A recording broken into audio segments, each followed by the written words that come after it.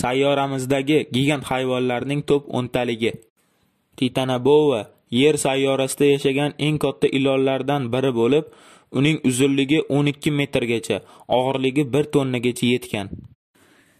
Megalodon bundan 1,5 million yil oldin yashagan gigant akula hisoblanadi.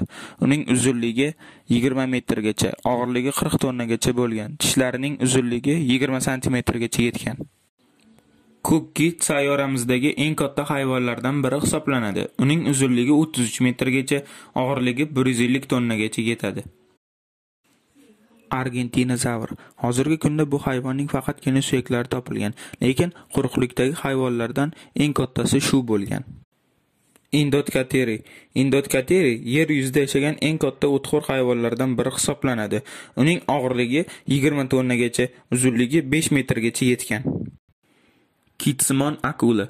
Kitsimon akula bugungi kunda qirilib ketish xavfi ostida turgan hayvonlardan biri hisoblanadi. Uning uzunligi 12 metrgacha yetadi.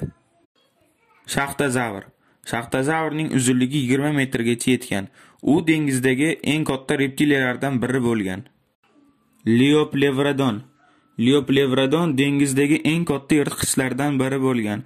Uning uzunligi 25 metrgacha yetgan, og'irligi 100 tonnadan oshgan. Sarko'ziq zamonaviy timsohning ajdodi hisoblanadi.